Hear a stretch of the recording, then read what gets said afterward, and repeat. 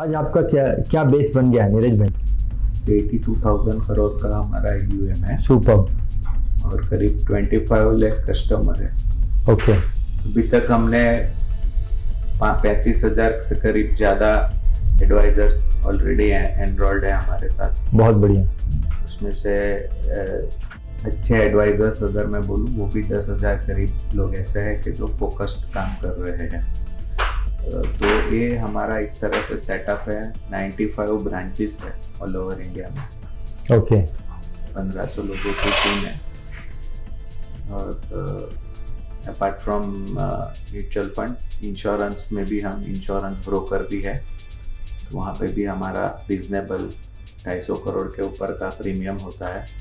वहाँ पे केवल हम टर्म प्लान और हेल्थ प्लान ज़्यादा बेच रहे हैं। ओके जो ट्रेडिशनल प्रोडक्ट्स वगैरह है जहाँ पे कस्टमर को नुकसान ज़्यादा होता है। रिटर्न बहुत कम है।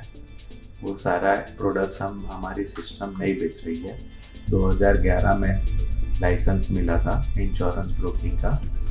धीरे धीरे उसमें भी हम आगे बढ़ रहे हैं।